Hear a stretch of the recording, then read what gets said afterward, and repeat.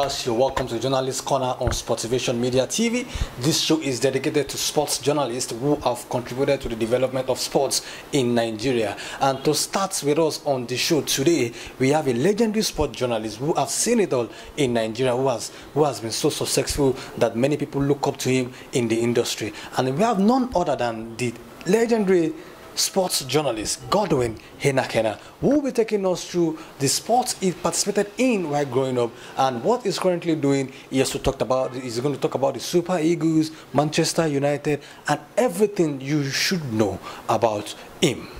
Don't forget to follow us on all social media platforms at Sportivation Media. Also on YouTube, you can subscribe to our YouTube channel at Sportivation Media. Come with us.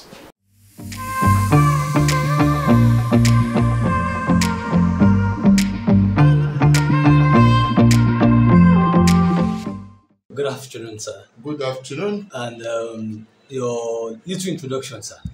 My name is Godwin Enakhena. First and foremost, I'm a podcast journalist and a businessman.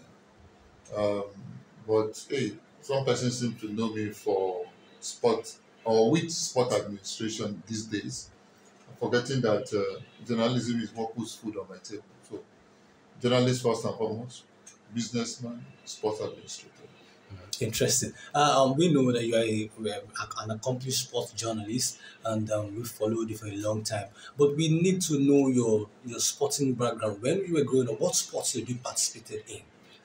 Well, if you grow up in the village, um, the only sport you participate in will be football. Mm. So I grew up in uh, one of the best villages in the world. uh, I can go there precisely. That is uh, Etsako East local government area of Edo State. Uh, I'm from Edo North, and I'm from mine for that matter. Um, I played football. I was very good. I played football was life. Mm. Football was everything until my father cut it short. You know, I stopped football. That brought tears out of my eyes and out of my mom. Um, like I said, it was everything to me. One day, my father cursed my enemy, not me. Said, um, "If I don't leave football, I will never make it in life." So, like I say, the rest is history. Um, I stopped playing football, you know, after that encounter. Um, but I didn't know that I was going to be a sport journalist. But yeah, I am. Hmm, interesting and so emotional right there. But um, from there, for some people, they will have probably said, okay, because my father stopped me from playing football and sport journalism, you still have a way in football. So, was, does that contributed to your reason to become a sport journalist? No, certainly not. It had nothing to do with me becoming a sport journalist. Um, I, I also tell you that I didn't know I was going to be a sport journalist. The stressing part of it is I remember one of my big, big uncles in those days, um, Honorable Joseph Oyagesho. He saw me one day, you know, I came home, I become a journalist. So I got home one we were talking, he said he knew I was going to be a journalist. Uh, I think the, what I didn't do that day was to ask him, sir, how did you know? You know, but sometimes I sit down and I'm like, okay, while in school, I used to read a lot. You know, I used to steal my mom's money to buy um, newspapers. In those days in the village, you know, I used, then I, I, I used to subscribe, even in secondary school, um, I was subscribing to Complete Football Magazine, you know, uh, through my mom. She would give me, she doesn't care, I was still, because she was into big provision, you know, kind of business. So money was, on, I would sell something like that. So that interest, when I stopped playing football, I started reading. I, I, I read a lot, you know. I kept reading everything I see. As long as there's sport in it, I will read. And that was it. Um, when I left school, that part died. I went to Kano immediately. The week I left school, St. Peter's Grammar School, Agenebe. That was 1986. I left for, uh, for Kano. I got to Kano and um, along the line, I just realized that that wasn't where I was supposed to be because it was just a strange land. Everyone was, you see that you were a mechanic, uh, panel beater, uh, what do you call these people now? Iron bender, those kind of, you know, I'm like, ah. Um, at the stage, they almost forced me to learn welding, yeah, something like that. I was like, no.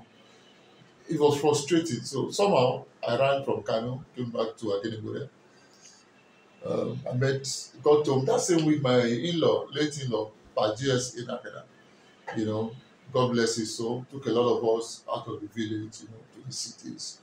Um, and I said, Daddy, I want to follow him to Benin. He said, Why not? You know, that's how I followed him to Benin. The rest, like they say, this is true. Interesting. Uh, but, uh, um, according to what we read about you, you started as a print journalist and now you are in the broadcast journalist. How was the transition from print to broadcast? Okay. Um, where I am now, where you are interviewing me, used to be the home of uh, Today's Sports newspapers. This was where Paul Bassey was publishing Today's Sports. You know. Um, sometime in 1996, I think, or 95, I can't remember now, or even, yeah, my that of Paul Bassey crossed. You know, I was staying in in uh, in an estate with Orile Agege. He was staying outside of the estate, just like three minutes walk. You know, one day came visiting somebody in my compound, and the woman now called me. She's late now, Mrs. Abegude. She called and said, "Ah, come and see," because she knows me and sports. That mm. sports is my life. So come and meet. So so so. So, so I came and saw him. It was like, wow me meeting Bassi. You know, from from that moment, I was always wherever he was. I'll go to his house, we'll play Scrabble. Uh, as usual, we had a lot of young people around him, and I'm one of the many. Um, I became like his 2IC. You know, you see that with him wherever he goes, or I was kind of a quote bodyguard to his late wife, Mother Comfort. You know, when Oga, as we used to call him, was always traveling, you know, as a media officer to CAF and FIFA, he was always out of Nigeria. So I was always there, madam, you know, like that, since we are, you know.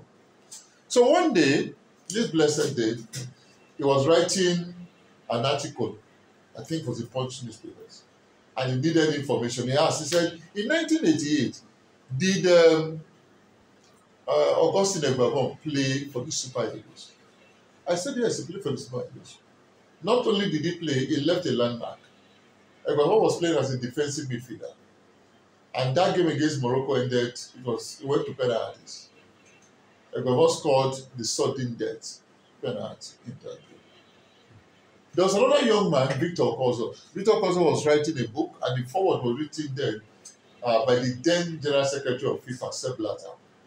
So, I mean, supposedly was an authority. He said, no, that everyone did not go to the Nations Cup. You know, not these days that you can take a look at your phone. Then there was no internet, there was nothing. So, I mean, you have to rely on a magazine to know whether Egbamo played or not. So I said, Egbamo, you know, I said, so Probasi said to me later that something told him that I was right. So he followed my, mm. you know, and wrote his article. He later went to check because the only reason he asked was I didn't have enough time to go check. So he later went to check and I was right. He said he wanted to start a community paper with Tin Aurelia Agege. That was a dream, a community paper. Later, community paper became a national paper, Today's Sports, and that's how I started my print business. But I must tell you, before then, I started writing. In 1987, my first article was published by uh, Complete Football Magazine. And the cover of that magazine was Etim Esin, a rebel with a cause. So my article was in that magazine. So from there, I joined Complete Football Magazine Boys Club. You know, so I was, I became like uh, an auxiliary reporter, you know, for Complete Football Magazine then. And then Pobasi came, you know, joined Today's Sport, pioneer staff of Today's Sport. You know, while I was doing that, enjoying it without internet, without TV, there was nothing, there was no super sports, nothing, nothing. Ah, how how we, we were writing there was I sometimes I look back and say, wow. Um, then it was on Master Sport on NTA. Just called me one day and he said, Godwin, you are following me to NTA tomorrow. I was, you know, next tomorrow. He told me on a Thursday. Master Sport was on a Saturday. He told me in the morning. So I was like, I thought he was joking. He said, he's serious. His person will laugh. Even in a serious matter, he will laugh and laugh. So like, is he serious? So one of his staff, Sheyi Agbolade, said, Oh, guy is serious. So that they just had a discussion with Tanko. You know, Tanko was the producer, producer of Master Sports then. And this and that. I said, okay, fine. What do we do? Let's do something. Gentlemen, I didn't have a trouser. I didn't have a proper shirt. I only had a trouser that had become a short knicker because it was torn. So I was I needed a suit. I needed shoes. I needed a shirt. I needed a tie. That's what you need to have your master sport. I didn't have any of this. I didn't have a shoe. I didn't have a shirt. I didn't have a tie. I've never worn a suit before. You know, but fortunately, I had a friend Sunday, uh, Kester, who is more like a brother. I call him a brother, not a friend. His brother was in the police with Shell in Port Harcourt. So he had an extra black clothing that he left with him. So he said, ah, buddy, you know, if we, look, we use this one now. So I took that cloth to a tailor in Surulere. One of my brothers, John Aluwe, took me. I remember people saying that you can't make, you know, uh, a, a suit in two weeks. Mm. You need a month to make a suit. I went to Surulere, I met a guy, I remember that tailor from our area, and I told him, I'm going for a wedding on Saturday, and I need this suit. By Friday morning, Friday afternoon, the suit was ready. I went to pick it, and I went to Master Sport. That was how the journey of Master Sport and TV started for me. Um, TV blew me. You know, you know what TV can do. A lot of persons started, you know, ah, Mr. Godwin. When I came back that first time, my in-law, my late in-law, Mr. Andrew Abuhale, asked me, because I was staying with my in-law. He was married to my elder sister, immediate elder sister. So where where did you go to? I said, I went to a wedding. I didn't tell anybody. Mm. So they started hearing from outside that I am on TV. Mm. But the story of me not telling anybody um, is about, for me, it was about trying to prove people wrong. Because at that point they said I wasn't serious. That was I went to visit somebody, a family friend who was a tailor somewhere in Ilezik. I used to go there to while away time. I went there that day and the guy said I should leave his shop you know, that I wasn't ready. That if I were serious, I won't be where I am now. I, cried from Ile Zik because I'm a very emotional person. I cried from Ile Zik till I got home. I didn't know how I got home. You know, but Master Sport came, today's sport came, and the story changed. Interesting. And from there, you, you are also a football administrator. You, you remember very well when MFM gained promotion to the NPFL their first season, second season. We led them to the Champions League, CAF Champions League. That was historic for a club that just gained promotion to the Premier League. Their second season, they played in the CAF Champions League. Now, that's to mean that from being a footballer, although you're not allowed to fulfill that your dream, you moved into journalism and now as a football instructor. So, has it been as a sport journalist? Because we've always said, I've heard you say most times that when most sport journalists enter into the inside, it's not the same sport journalist. How have you been able to cope with that? You see, uh, as a sport administrator, I'm not a football administrator. As a as a sport administrator, because I must say this, um, in 2006, the general overseer of uh, Mountain of Fire Miracles Ministries, Dr. Kolawole Olukoya, Daniel Olukoya, you all know that, um, called me and said they wanted me to be a consultant on sports to MFM as a member of the ministry. You know, later director of sports in the ministry. Uh, between 2006 and uh, 2011, I refused to get MFM into the league mm. because I said we can't stand stand the shenanigans going on, so many things going on. But at some point, I realized that you can't just critique from a distance you have to be on the inside to see if you will have persons who share your ideas to effect change. So by 2011, uh, we got into the league. I actually bought a spot in the nationwide league. We bought Aqua Stars from Lagos, and that's how I took MFM into the league. You know, nationwide, the NNL, we bought. We didn't buy a slot this time someone gave up his slot, Bolo Waton God bless him, is the DG of uh, the Sport Commission in Lagos now, uh, Toyin Gafar.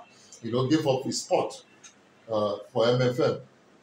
And that was when the real jungle started. we understand that uh, football is real business. Um, first season, you know, there's something about me. Um, I was groomed by a man who taught us something. He said, never say fail. Say, give all you had, all, all you've got. He will tell you, give all that you've got. If you try the first time and you fail, try again. You know, um, there's also, uh, my wife will tell people that there's nothing the husband cannot do unless he doesn't want to do it. What she means is that I give everything. You know, you can't win all the time. It's not possible and all. You know, I give everything, and when I give everything and I fail, I will come back again. And you just remember, um, I just remembered why growing up, my dad was a very fierce man. I don't want to use the word strict, fierce, you know, ramifications. I, I used to go and fight in people's houses. You know, they, at the point they now say, okay, let him just beat you so that he can go. that was the kind of person I was. And I always tell people that I wanted to join the mobile police force. Why I wanted to fight. That was the reason I wanted to join the mobile police force. I just like, you know, at that point. So that I look back and I say, you are crazy. you know, those things are gone. Thank God for God and Christianity. You know, as it were. I, I missed the first time. And I said, the second time, MFM will play in the Nigerian professional football. League. I want to be part of that dream of MFM, the first church in the history of Nigerian football, playing in the Premier League. But before then, I had taken MFM to Goa, India, to play in the inaugural Church World Cup. And I won it. I came back with a trophy. No, it was it was serious business. And we came and I people were mocking, who is is a journalist? You know, I'm just I was like, what is my strength? What has always been my strength? I ask those who have been there before. I keep them as friends. That's what I do. That's my secret. Hard work can take you this far. It can't take you all the way. You need someone to hold you by the hand to say, hey, it is quicker for someone to hold you by the hand than for you running. That's why in athletics you find pace setters and what have you when you have some challenges. So I took advantage of the lessons I learned the first season that we missed promotion, and the second season we were in the Premier League. What was another advantage? I put together a collection of boys. Onoa, Stephen Ode, um, Sikiru Olatubosun. I had Brosa. I had, there were so many. Austin Opara in my defense, the captain of the team. I had that to Rumi high. I had um, Abayomi for Larry, my goalkeeper. Nasamu. They were all there. And I had a coach, the longest serving coach with a team in Fidelis Ilechukwu. A young man whose passion knows no bounds. No wonder he has taken Plateau United to the Apex right now is for 13 good years we were working together. He will just say, boss, boss, boss, boss. He knows there's nothing he wanted that I'll not give my best to make sure he gets. He never got everything because I'm human, but most of those things will make it happen. So my strength was giving everything that I have, pray very, very hard under the anointing of Dr. Dikwe Putting boys together, keeping the promises I make to them. I never promise what I cannot do or what I cannot give to them. When I say I'm going to give you one naira, they get that one naira. But key is that I never let left journalism. Sport administration was, is, and will always be a part-time job for me. My first love, my job, the job that puts money on the table that feeds my family is sport journalism not administ- being an administrator. I have never. I mean, a lot of people used to they say, ah, how can a chairman of a, a club side be talking on radio and TV? Uh, and I said to them, sport administration is by the way. Mm. You can be fired anytime. Mm. But this is the job, you know. And I told the Joe then, I said, look at sir, I don't need any salary or allowance. I've, I've been director of sports in MFM. This is the 14th year. I've never earned a salary allowance. I've said it on TV and radio. I don't.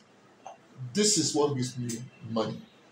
This the window, the doors that sports journalism has opened. That's what some of my colleagues don't understand. That if you do a job, the day you do a job that you are afraid of, sack, or you are where you are, the position you are occupying, you are scared that you might lose it. You are not a serious human I've said nobody can sack me.